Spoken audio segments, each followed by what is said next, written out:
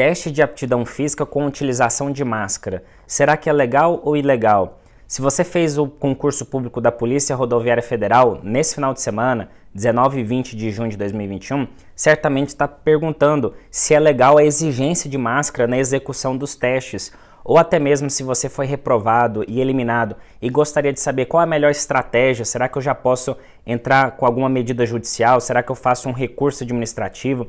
Quais argumentações que eu posso utilizar? Como fazer um recurso administrativo? Como entrar com alguma medida judicial? Esse vídeo é para você. Infelizmente, se você foi reprovado aí no TAF, onde você estudou bastante para o concurso e a banca com apenas cinco dias de antecedência do TAF, faz a publicação no dia 14 de junho, o edital criando um novo requisito, a utilização de máscara para executar os testes. E muitos candidatos foram reprovados, principalmente no teste de corrida, que exige bastante do candidato, ou até mesmo no teste de barra. A maioria dos candidatos teve esse tipo de situação, ou até mesmo em situações onde envolvia ali o shuttle run, onde envolvia é, o teste de abdominal, e muitas vezes o fiscal que está ali realizando é, pode fazer contagem de forma equivocada, não levar em consideração os, os exercícios. E aí, o que, que você pode fazer? Quais são as estratégias? Acompanhe o nosso vídeo até o final que nós vamos abordar sobre esse assunto.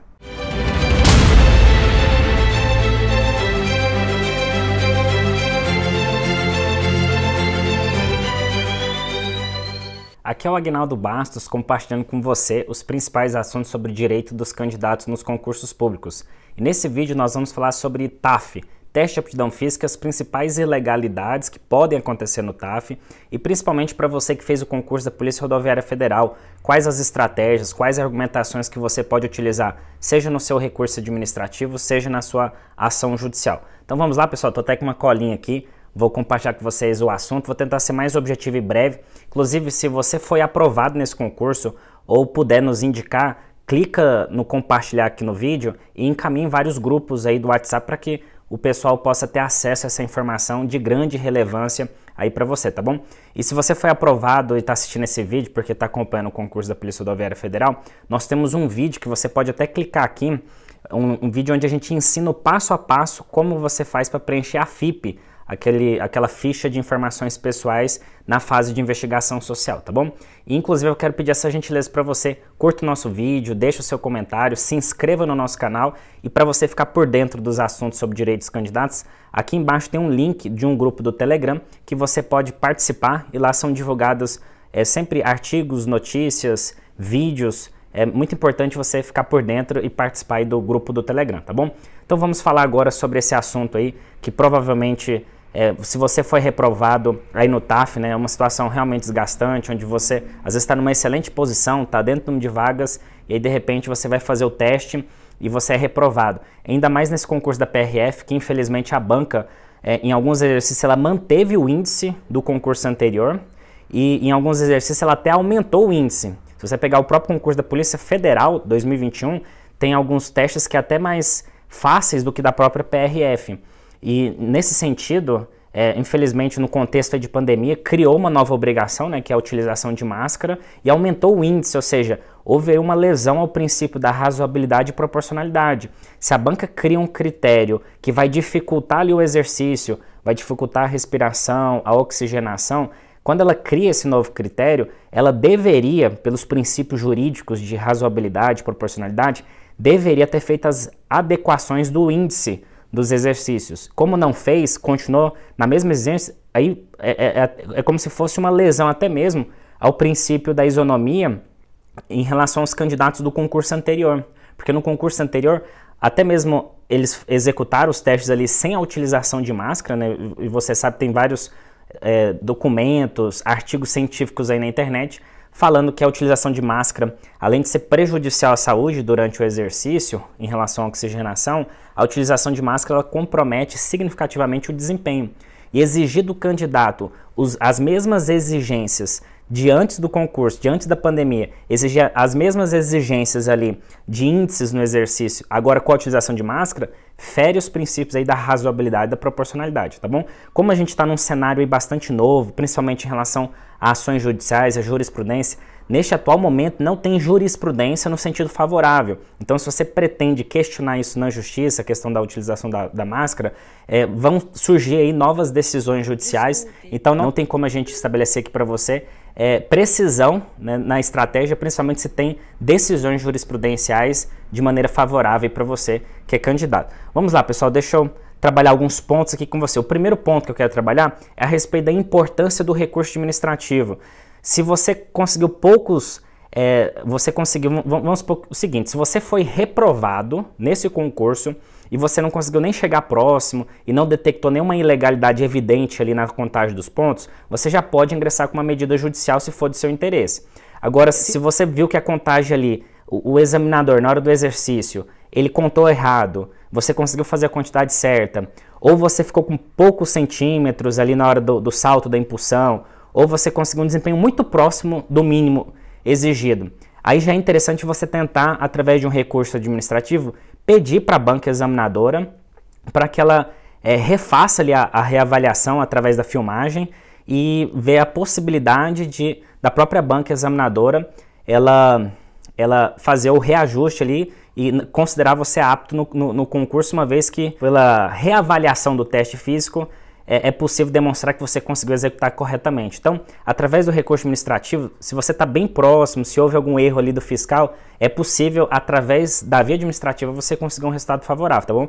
Não, não, não necessariamente somente através da justiça. Na via administrativa também tem chance, por isso que é importante você primeiro tentar na via administrativa, porque a via judicial é mais onerosa, é mais desgastante, pode ser que a liminar seja negada, você vai ter que permanecer com o processo aí por um longo período de tempo, então tem um desgaste maior da via judicial. Então vale a pena você primeiro fazer o recurso administrativo. Inclusive, nós temos aqui, pessoal, um, um, link de um vídeo onde a gente explica sobre a questão do recurso administrativo e vou deixar também na descrição aqui do nosso vídeo um, um artigo publicado lá no nosso blog onde a gente explica também por escrito né, como fazer um recurso administrativo. Então vale muito a pena você ir lá. Mas vamos lá, pessoal. Obrigar usar máscaras no TAF é legal ou ilegal? Né, tal exigência, será que fere princípios constitucionais? Pessoal, é o seguinte, é, existem legislações aí, né, falando sobre a utilização de máscara, principalmente por causa da pandemia, por causa da situação, então, em tese, tem uma justificativa lógica e plausível para a banca exigir a questão das máscaras. Só que é importante observar o seguinte, é, existem situações, por exemplo, de esporte coletivo, né, onde jogadores de futebol, quando eles estão ali no, no, no, é, fazendo a atividade ali, eles é, na execução da atividade eles estão fazendo sem máscara.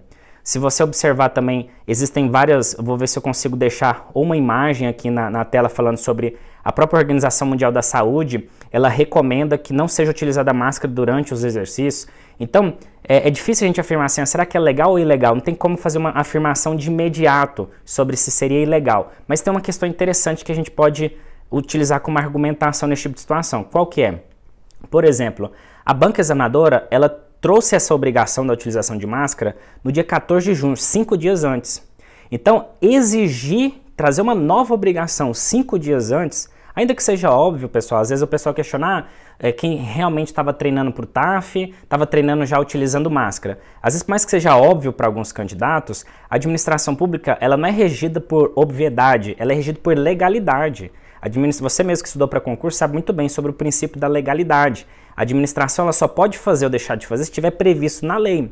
Inclusive, essa questão da utilização de máscara, havia sim a possibilidade desse, desse, do teste ser feita sem a utilização de máscara por, por, por causa do contexto aí da, da, da, exigência da atividade física. Né? Poderia criar outros requisitos, a pessoa apresentar o teste do Covid, como tem acontecido em algumas situações envolvendo o esporte. Então, é importante a banca examinadora ela ter razoabilidade no prazo. E aí, nesse caso, por exemplo, se ela teve apenas cinco dias, cinco dias é, é, um prazo desrazoável, desproporcional, criou uma nova obrigação. Essa obrigação não tinha previsão em lei, criou apenas no edital. Então, no nosso entendimento, fere o princípio da razoabilidade, proporcionalidade, inclusive da legalidade, por ausência de previsão expressa na lei, criando um novo requisito aí no edital.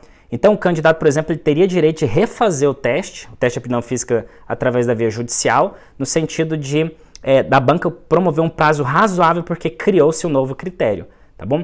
É, inclusive, pessoal, tem um vídeo da, da coletiva de imprensa é, da própria Polícia Rodoviária Federal onde eles abordaram até sobre essa questão. Eles ainda não tinham firmado a respeito da utilização da máscara, você pode ver o, livro, o, o vídeo da coletiva de imprensa aqui embaixo. Pessoal, então vamos lá, vamos, quero esse vídeo ser mais objetivo. É, em relação ao recurso administrativo, então é muito importante você solicitar filmagem, ok? no recurso administrativo, solicita filmagem. Se, ela, se, a banca não disponibilizar antes, solicite a filmagem, porque através da filmagem e contratando algum especialista na área, por exemplo, de educação física, para poder fazer a avaliação do vídeo, verificar se os movimentos foram feitos de forma adequada, emitir esse parecer para você utilizar na justiça ou através de alguma perícia judicial ali analisando o vídeo, é possível é, demonstrar que a pessoa fez o exercício correto. Inclusive, teve candidatos que já conseguiu na justiça, também vou deixar aqui na descrição candidatos que já conseguiu na justiça o direito de refazer o TAF ou até mesmo o direito de ser considerado apto no TAF por ter demonstrado que fez o exercício corretamente, tá bom?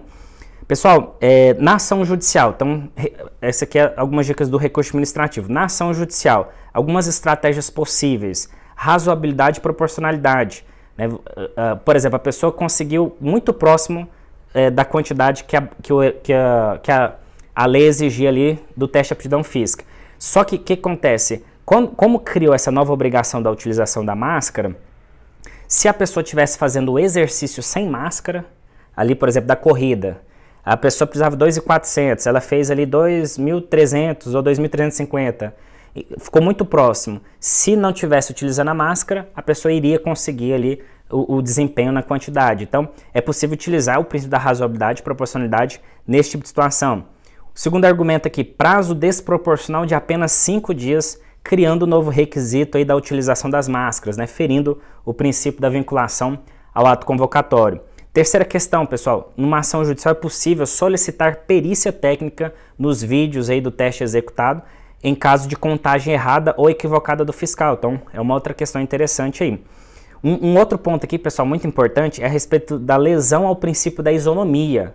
Esse é um ponto interessante porque, inclusive, eu tive acessos, eu não vou poder disponibilizar aqui porque expõe a pessoa que estava fazendo o teste, mas teve algumas localidades onde a pessoa, na hora de executar o teste de aptidão física, a corrida, por exemplo, a pessoa abaixou a máscara para respirar pelo nariz, alguns candidatos, por exemplo, afastaram a máscara do rosto para é, poder respirar melhor, e isso com certeza influencia o desempenho da pessoa, e aí, nesse sentido, é, é, possível juntar essas fotos e, por exemplo, se você fez ali o teste da corrida, você fez com a máscara tudo certinho e o outro candidato fez com a máscara embaixo do nariz, percebe que tem uma lesão à isonomia, porque um candidato teve, entre aspas, ali o, o, o benefício de fazer o teste com a máscara abaixada, já você fez tudo certinho com a máscara e não conseguiu desempenho satisfatório. Né? Houve uma lesão ao princípio da isonomia. Então, se você conseguir uma pontuação muito próxima, é possível até demonstrar pela razoabilidade e proporcionalidade que você teria o direito de ser apto. Ou, se realmente o judiciário entender que o, o teste aplicado para você foi ilegal, você tem o direito de refazer o, o, teste físico, tá ok? Então, lesão ao princípio da isonomia, né, em relação à questão da máscara e alguns candidatos ter abaixado a máscara na hora de fazer o exercício. Outras situações que podem ser consideradas ilegais, pessoal, é, o vídeo já está ficando bastante extenso, já são praticamente, é, esse vídeo vai ficar praticamente 15 minutos aí de vídeo, né?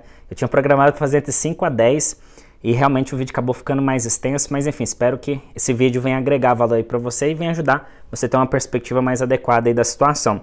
Se você quer saber algumas outras situações onde é possível questionar a legalidade do TAF, eu vou deixar aqui, tá bom? Alguns, alguns vídeos aparecendo nos cards aqui, para você clicar e também assistir outros vídeos que a gente aprofunda sobre esse tema. E por fim, para finalizar, é, explicar para você sobre caso você tenha interesse de alguma ação judicial, né? Você pode procurar qualquer advogado de sua confiança para poder ingressar com alguma medida. É importante que você procure alguém que tenha expertise na área de concurso público, alguém que seja especialista nessa área, porque isso, de certa forma, é, você está entregando o seu sonho, a sua situação na mão de um, uma pessoa que já tem experiência na área, né? Ainda mais um concurso como esse da Polícia Rodoviária Federal, né? De uma remuneração bem expressiva, onde de fato é, muda totalmente a vida da pessoa que passa nesse concurso. Então é importante você refletir sobre isso, né? principalmente na hora de contratar algum especialista, você vai contratar algum, alguma pessoa que, por exemplo, é especialista na área ou algum advogado generalista que trabalha com vários tipos de demanda. Então, reflita sobre isso, é importante você é, pensar sobre isso no, no seu processo decisório. E para nós finalizarmos aqui, a respeito de ação judicial, já vou trazer alguns contextos aqui para é, você entender. Uh, existem duas possibilidades em relação a liminar. O que é liminar? É o pedido de antecipação de tutela, aquele pedido ali para que você consiga retornar mais rápido para o concurso, para as demais etapas, tá bom? Em relação a essa parte de você voltar em relação a liminar, basicamente existe duas possibilidades. A primeira é uma liminar para você refazer o TAF, ou seja, o direito de você refazer o TAF caso o juiz entenda que o TAF foi é, criado num contexto ilegal. Por exemplo, questão da máscara abaixo do nariz. Alguns candidatos utilizaram. Você pode ter o direito, inclusive, de fazer ali, refazer a corrida nesse contexto que outros candidatos tiveram essa oportunidade de fazer a corrida com a máscara abaixo do nariz e a banca permitir que isso aconteça, porque houve lesão em isonomia. Permitiu para outros candidatos e para você não. Por que isso, entendeu? Então, assim, é possível pedir uma possibilidade de refazer o TAF judicialmente. A segunda possibilidade é a respeito de, através de uma liminar, você ser considerado apto no TAF, principalmente se a contagem foi correta do seu exercício ou se a quantidade foi muito próxima, aplicando o princípio da razoabilidade e proporcionalidade, você seria considerado apto no certame. É um outro tipo de estratégia de liminar, onde você pode solicitar ali que você seja considerado apto para prosseguir nas demais etapas. E por fim, pessoal, em relação a liminar, muitos candidatos têm essa dúvida: ah, o concurso, o TAF já aconteceu, a avaliação psicológica e a análise da FIP já aconteceu, e aí, como é que fica? Será que é, eu sendo reprovado, é, a fase acabou? Será que perde o objeto? Essa é uma pergunta interessante. Se você conseguiu uma liminar favorável, ainda que seja depois que aconteceu essas fases, existe jurisprudência, decisões dos tribunais que diz o seguinte, que é, encerramento das fases do concurso, homologação do concurso e até mesmo o vencimento do prazo de validade do concurso não gera perda do objeto da ação que você está questionando, tá bom? Isso é importante esclarecer porque é o seguinte, olha só, se você entra com pedido de liminar, é aquele pedido para você ir, voltar mais rápido para o concurso e para as demais etapas. Esse é o pedido da liminar, ou, ou também chamado de antecipação de tutela. Quando você volta mais rápido, você prossegue nas demais etapas. Se essa liminar for negada, você ainda pode entrar com agravo de instrumento, que é um, um recurso para atacar essa liminar, ou você pode, inclusive, é, se houver a negativa tanto no primeiro grau quanto no segundo grau, aí tem uma questão interessante.